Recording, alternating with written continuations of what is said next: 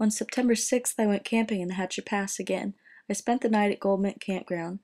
It was a very dark evening, and our only light was the flicker of the campfire. Suddenly the clouds began lifting, and I could see a beautiful glow coming from behind the mountain. As I sat at the campfire, Tim began filming the beautiful moonrise from the peak. The clouds dissipated and cleared the way for a clear and bright night. I could see everything around me. I was surrounded by mountains on all the sides, and a soft glow was cast upon them. I looked up, and the stars began appearing out of nowhere. It was a warm 47 degrees, and I needed two layers of clothing. I was camping in a camper, though I have camped in a tent and temperatures below 30 was no problem. A warm sleeping bag is all you need. By the morning, it had dropped to the mid to low 30s in the lower elevations of Hatcher Pass. I waited for the sun to hit the trails before starting my hike.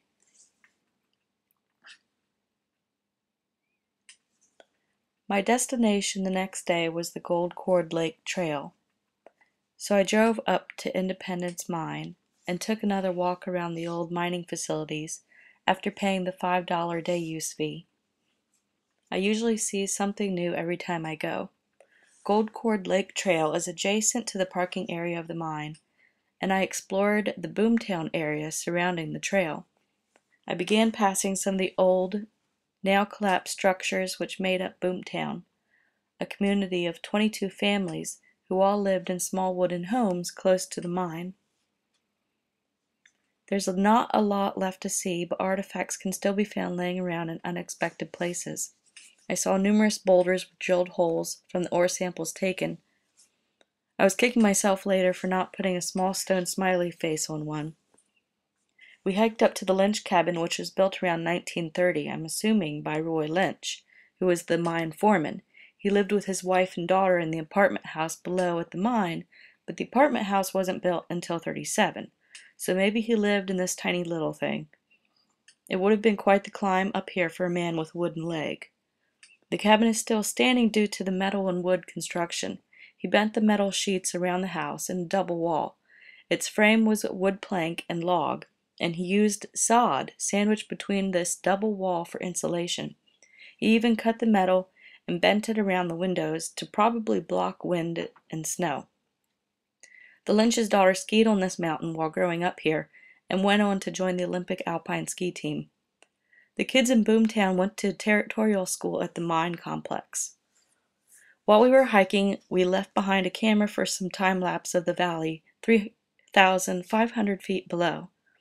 The Gold Cord Lake Trail has an elevation gain of 800 feet and begins after a slight climb from the parking lot. Palmer sits below in the valley. Besides the Lynch cabin, Boomtown, and obviously Gold Cord Lake, the trail has beautiful streams and small waterfalls as well as dramatic rocky slopes. You can see the waste rock piles above the mine complex from across this alpine valley. At the top of these waste rock piles were the mine tunnels where small train carts or aerial tram buckets carried ore down to the mill. I wonder if anyone could have spotted the rock glacier just above and to the right of the mine complex. A rock glacier is what it sounds like. A lot of boulders and debris from landslides or avalanches, which covered lots of snowpack and ice.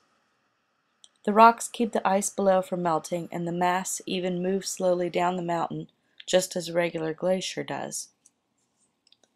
There are still old mine buildings on the tops of the ridges around the mine. The area here is groomed for skiing in the winter, so I'll be coming back as soon as the snow starts to fall.